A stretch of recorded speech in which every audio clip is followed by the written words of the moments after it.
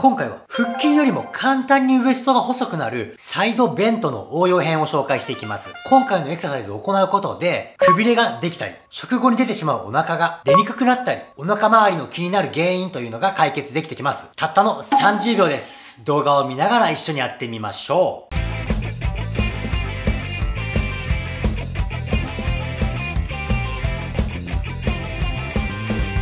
はい、皆さんこんにちは、タートルです。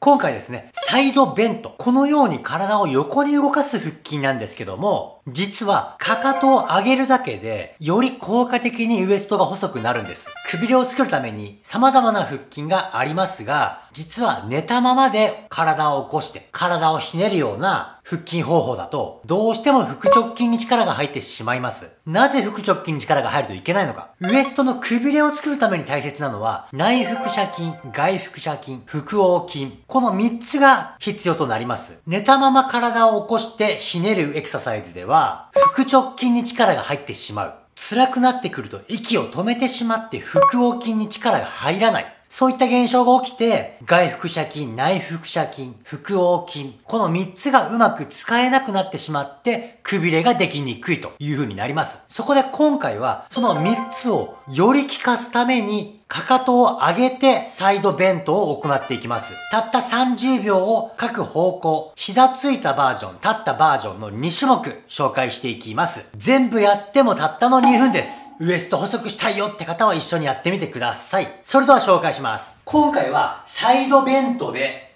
かかとを上げて行うんですが、なぜかかとを上げるといいのかというと、このままでサイドベントを行ってしまっても、体を倒した時に骨盤が同じようについてきます。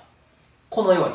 ついてきて収縮さす時には同じ高さのままなんですが、これをちょっと足開いて、かかとを片っぽ上げときます。そうすると骨盤が伸ばす方が下がったままになるので、しっかり伸ばすことができます。そして戻す時には、このままよりも反対のかかとを上げることで骨盤が今度はこっち側が上がりますから、さらに収縮ができます。通常の1.5倍ぐらい収縮をさすことができます。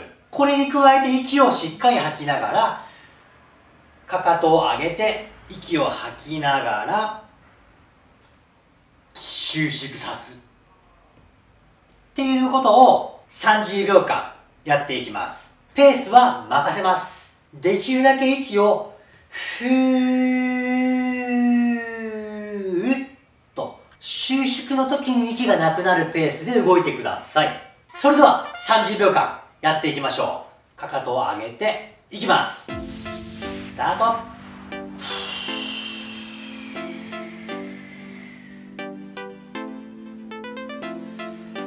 これぐらいのペースでかかとを上げて息なくなる時に反対のかかとを上げて使う。息をしっかり長く吐きながらです。こういう感じです。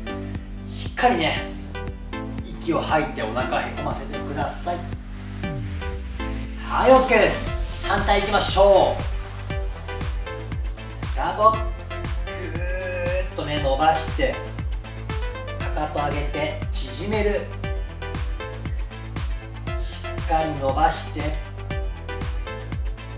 かかとを上げて締める。これ意外とですね1回やっただけでも1 2センチくびれがね実はできるんです。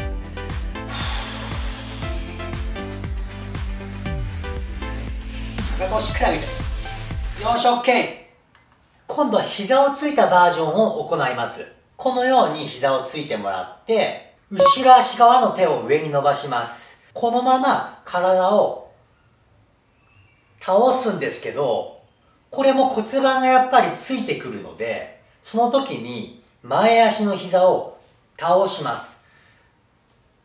こういう感じで伸ばしたら帰る。倒しながら膝を内に入れて、こっちの骨盤高くさせて伸ばしたら帰る。30秒いきましょう。スタート。これも息をしっかり吐いて。しっかり膝倒してください。しっかりね伸びると思います。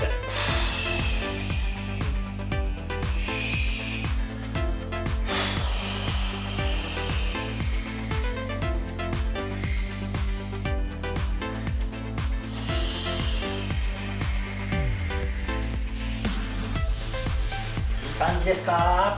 うーんオッケー。はい反対足も一緒です。最後です。伸ばしながら膝倒します。スタート。よく伸びてますか？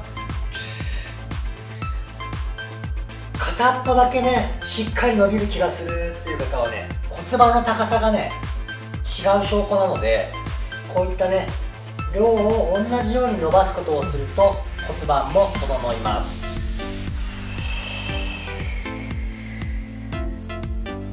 ラスト膝倒してオッケーとっても簡単なサイドベントの応用編でした。